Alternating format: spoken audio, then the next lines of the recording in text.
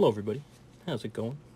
Today I got a match between me on Law, my opponent on Sanji. Um, the Sanji deck is honestly really interesting. It was a deck that, uh, when this set first dropped, that I really wanted to check out, but, uh, I really just never did. I have the cards for it, but still have yet to play it.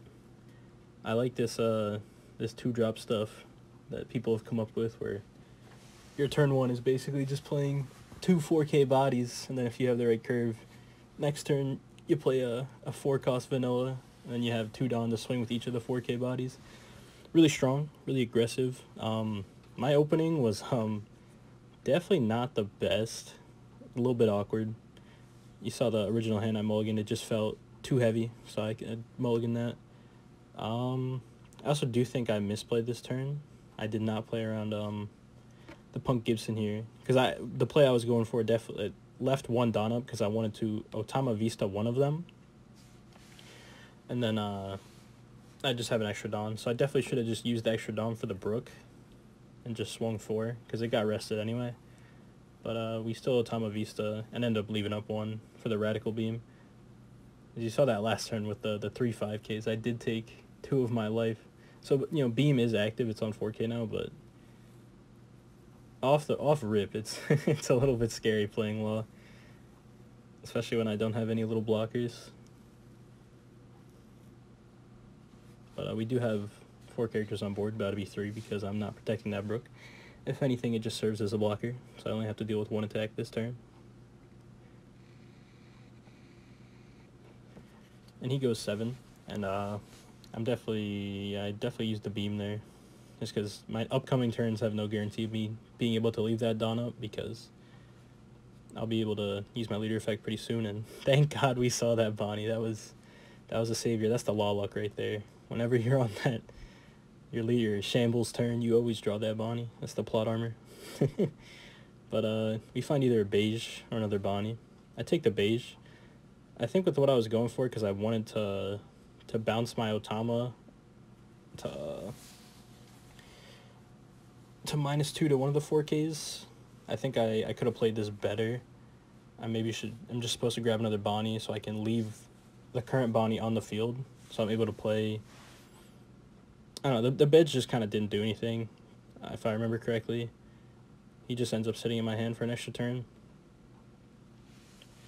Because if I, uh, what I could do is I could play Otama grab back pretty much both my Otamas and play the Vista instead of um what I do here. I don't, I don't think it's the worst, honestly. I think I also should have just put a Dawn on that Vista and swung for it the at the Vanilla. Probably a better play. Yeah, minus two, and I use leader. Take back the Otama I just played. And see, now I'm forced to take back that Bonnie, but if I grabbed an extra Bonnie, I could have just left that Bonnie and grabbed my one of my other 2k counters. And I do just end up swinging 5 with the last two Don. Didn't really want to sack off any of the 2ks on board that I could pick up. Uh, he plays a, a 7 cost kid. Also, this is a, a bit of a longer one. Uh, there's two games here, just because uh, I, I felt like it, it was an interesting match, so I you know, definitely got to rematch them. The next game is, uh, I think, even tighter than this one, so... Because enjoy the gameplay or interested in either deck, definitely, definitely give it a watch. But we draw another Bonnie, sweet. Grab a restand law. I did actually speed up the video just because it's a bit long. It's a bit long. So, in, in case you're curious, I, I, I don't... I, I feel like I played pretty fast, but I don't know if I played this fast, you know? 3 Don on law. Attack for 9 just because we have the restand law. I'll be able to grab back one of my 2Ks. And because I drew that extra Bonnie, I can leave that Bonnie on field and not feel bad about it. That's another thing. I could I could have had one more Bonnie instead of this this Bege in my hand, but it's it's all good. It's all good. It's a misplay. That's another big thing I feel about when I rewatch my replays. I definitely pick up on stuff I could be better at. He swings 8 at my lead. I end up taking it. And he probably just swings five. I imagine you know Sanji plays a lot of counters, so yeah, he'll swing five on my Bonnie, and uh, that's a free block right there. so I end up keeping my Bonnie. That is pretty good. We're on our ten Don turn. Obviously, got to use that Bonnie. We find a pistol, so that'll let us deal with um one of the kids because we have uh, Otamas.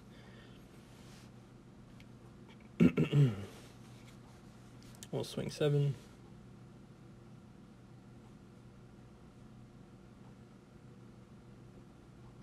pretty much against decks that run a lot of counters or like event counters, I always like swinging at kind of just baseline. But when they have the the seven cost Kid, obviously, you kind of want to swing at that seven. So, it's nice we already have some six Ks on board to just swing at seven. And I do actually swing at the kid here just in in hopes that uh he'll let one of them go and then I can pistol the other, but it doesn't work out like that, and that's fine. You know, it's easy to defend might as well. And I do end up sacking off my Vista to pop one of them with Otama pistol. I'll swing five at his lead.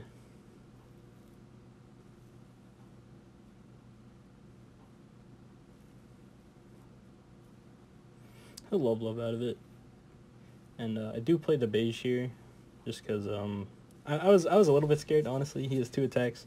I have one blocker. In theory, you know, I always live, but in practice, he is, you know, blue and green, so he can either bounce or rest one of my blockers here, so I do play the Bege just to be a little bit safer. Puts two Don on uh, on Kid, swings at my six or five cost law, the restand law.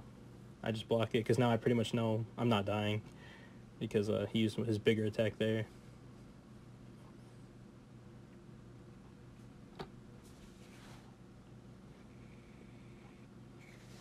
puts a Don on Sanji.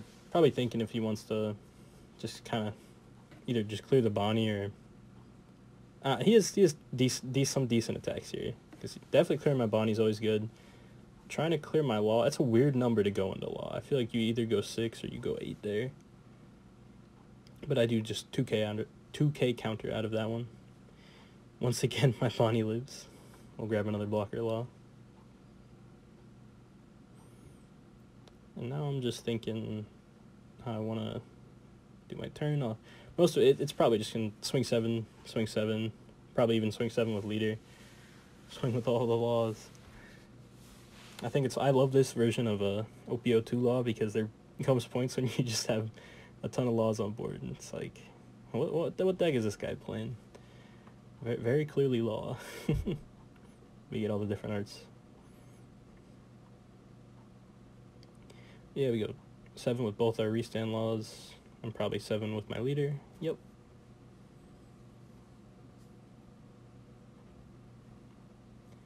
I do, uh, I really like the 7-drop Kid and Sanji. It makes a lot of sense because it makes people put on uh, extra Don because they don't want to just give you a free block usually. So it, it gives you more use out of your event counters, which is pretty cool. I like that. We do play a uh, a Nami there. Grab a chopper. So we're, we're got a, a, lot of blockers. We're we're we're chilling right now. No worries.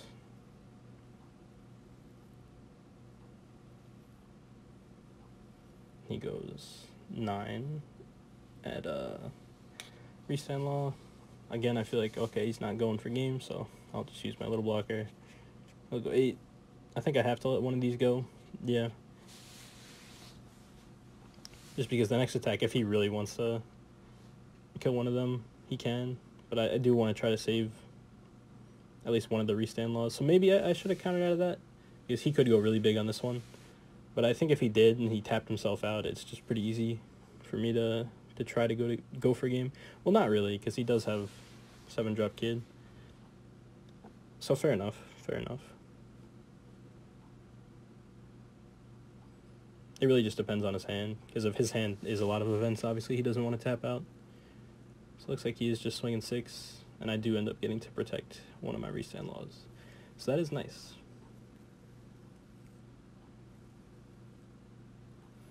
Draw for turn, we get a Zoro, and uh, I'm definitely thinking about how I can go for game here. But uh, we look for a restand law, exactly, because that'll be a big part in going for game. Because now we have two extra attacks with the Zoro and um and the restand. So yeah, that's that's pretty good. We'll just go seven at him.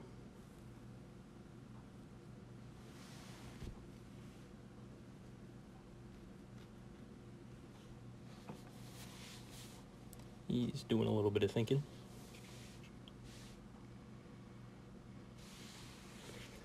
Counters out with Repel. I think that card's also pretty cool in uh in Sanji. Basically just a a one cost 4k quote unquote. You still have to leave two up, but you immediately get one refunded. Cool card. And I just go five here with uh with a rush sword just because I I want him to block. Honestly, I want him to take this free block, just because I know I can go bigger if I if I want to with um more of my laws, but I don't think that's the right play, just because in, in theory he has two more event counters, so I want to just kind of whittle them down and not commit Don to those attacks. And he goes, see that? See what I mean? Like, a, no matter how big I swung there, I wasn't swinging over the, what's it called? Onigiri, I think. I believe that's it. Three sword style onigiri, but it lets us go for two more sevens with my blocker laws. He plays another event counter. And I just go six here because I just want that last card. And then we can uh, use my leader effect and do the restand. And uh, I do give him the rematch here because uh, I thought that match was pretty good. It was interesting. It was close. I choose to go second, mess up his curve. But um, Another nice thing about law is I feel like you can pretty efficiently go first or second. Some matchups, obviously, you want to go one or the other. Like in matchups, you want to be aggressive. Say against Kaido, you want to go first, and you want to see your your rush Zoros, your your uh, not vanilla, but starter deck Zoros, and just be really aggressive. Because that's just how you have to play that matchup. Um, but this game start with uh, a chopper and a Makino. From last game, I know my turn one I didn't play a Makino ahead, and I'm like, nah, this game I'm, I'm definitely just playing it. I'm definitely just playing it. It's, uh, Makino's definitely not like Zoro where you'll always get value on it, but you will a decent amount of the time in law. You really just need a Nami for it to feel good. I do pistol one of his uh, 4K vanillas just because they're kind of cluttering my hand right now. I kind of need to play them, because if not, they're just a, a dead card in my hand that isn't counter. So I like just getting them out of my hand if I have them. And I only run two. I drew, I drew both of them, so I was definitely like, yeah, let me let me use some of these, get rid of them. I just swing five at his uh at his uh Jinbei there. He overheats, bounces my chopper. Fair enough and I do end up just pistoling the Zoro, and then playing replaying both my choppers. We're uh, we're kind of keeping his board a bit tame, and we're slowly establishing our our little guys so we can use um use our leader. And he drops uh 8k Mihawk. This card is scary. It's actually it's so good in Sanji. I think this deck is so cool. Because uh, basically it's just a four drop, and then you know it's 8k. It's big. Very good attacker. And I, I got the I got the pressure on me right now. I was definitely thinking about just taking this because I really didn't want to drop either of my Namis or my Bonnie, and I'm like, damn, I'll just 2k out of it. Feels a little bit bad, but I want to keep my searchers. And uh, I grab a blocker law there. Swing another 5 at uh, his vanilla.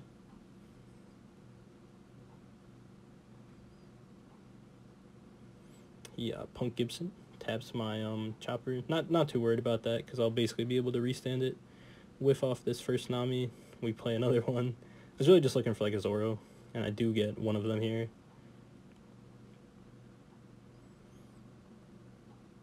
Yep. And we'll use leader probably. Yeah, he doesn't have any mana up, so the only thing that can really interact with me swinging next is a, a trigger and I, I didn't believe in it. so right here I had a bunch of extra Don. Also, I could have definitely established that Zoro. It might have been better, but I, I wanted to do this play where I swing with my chopper. Just because uh, I really wanted to clear that vanilla, and I know he doesn't have mana up to or Don up to protect it. Unless he wants to drop three cards. Two 2Ks and a 1K.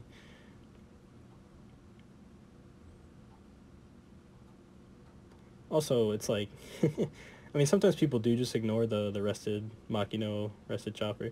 Which which is fair, but with the Chopper, you know, yeah, it, it is doing something next turn if you don't clear it. So it's kind of weird, but I do think he just he just goes face, which fair enough. I'll take my last life.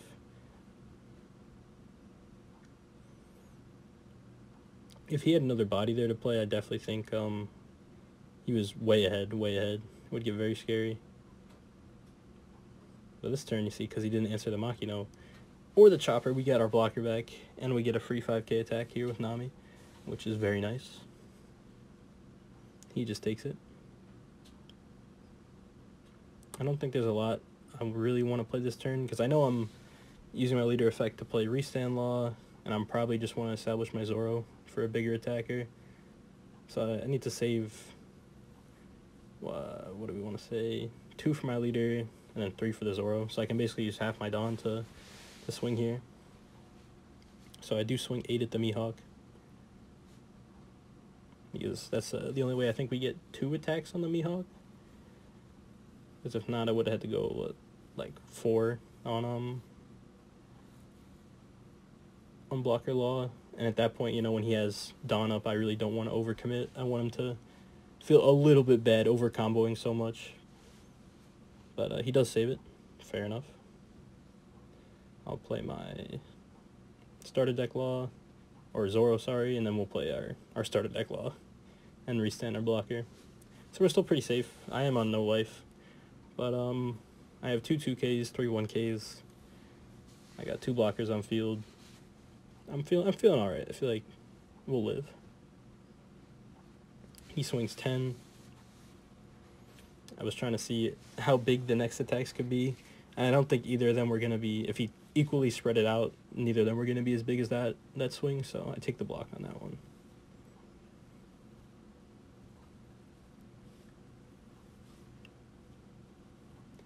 and he swings eight. I do, I believe, counter out of this one because his next attack could be nine, so a better number. So I'll take the easier one to counter out of. And if he does put the rest of the Don on his 4K there, I, you know, I'll have to take the block. But he just goes six, and I know he's out of attacks, so I'll block with my law and use one of my Namis here.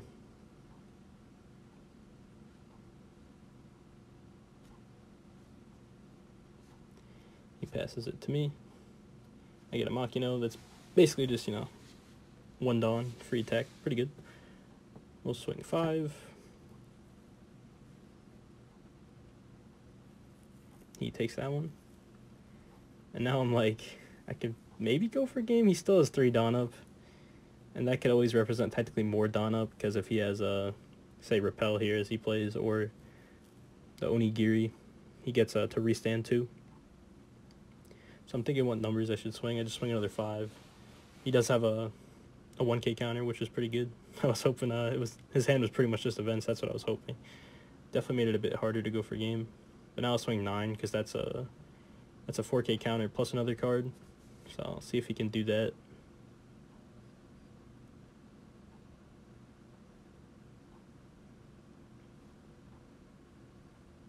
He does level beam and then 1k counter pretty good. Now, um, it gets a little bit dicey, because I pretty much, I want to go for game because I'm probably dead next turn, so I need to play this Bonnie to see if I will get a restand law, and I do. And I think that's, like, entirely the reason I end up winning this game. It was, it was a really close game, but we just, we found what we needed when we needed it, and it was, uh, pretty good. Because he is now tapped out, and he takes the 7, so I'm like, alright, I'm pretty sure that this will just be game thinking about a trigger. I don't know what that could have been. Maybe a Punk Gibson, but all my characters were already rested. And yeah, we'll use leader, bounce, play a restand law, swing, swing another 9, and he doesn't have it. And that's the game. Thanks for watching, everybody.